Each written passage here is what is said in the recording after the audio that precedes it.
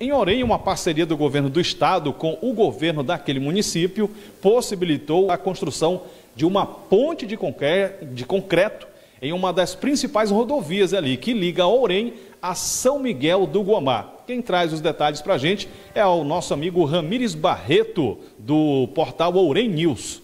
Após as chuvas intensas do último dia 20 de maio, a forte correnteza arrastou a antiga ponte de madeira sobre o Garapé Cafeteua, piorando ainda mais a situação dos munícipes. Com uma ação rápida integrada da Prefeitura Municipal de Ourém, em parceria com o governo do estado do Pará, uma nova ponte de concreto armado foi construída e entregue à nossa população. A Prefeitura Municipal de Ourém, em parceria com o governo do estado do Pará, enfim realizam um sonho tão esperado pela população do município de Ourém. Foi feita a entrega da ponte de concreto armado sobre o Igarapé Cafeteua, na PA 251, a popular Ourém São Miguel. Graças a Deus a gente teve, tive uma grande dificuldade, né?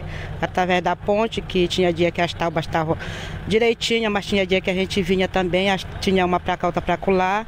E agora, graças a Deus, com essa belíssima ponte de concreto, né? Vai facilitar muito a vida da, não, tão, não só da comunidade do Mucambo, que é uma comunidade quilombola, mas sim das outras demais vilas que tem do Mucambo, né?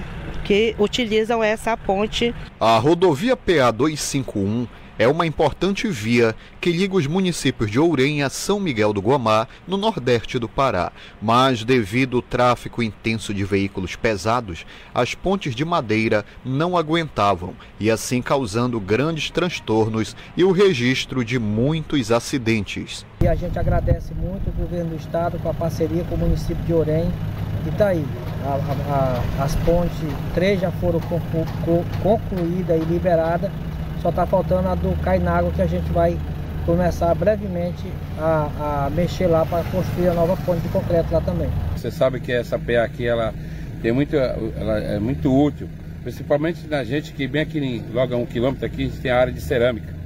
Eu mesmo tenho uma cerâmica aqui, a gente fica muito gratificante, porque a gente sabe da dificuldade que nós já tivemos com essa ponte, inclusive dessa aqui que nós estamos aqui junto, a dificuldade que nós já tivemos, já tivemos aqui no, com ela, e hoje está aí uma resposta, e a gente quer, a, a palavra que eu quero usar, Amires, é, é gratidão ao nosso governador. Muito bem. Sempre bem-vinda essa parceria né, entre município e governo do estado, pensando no melhor para a população.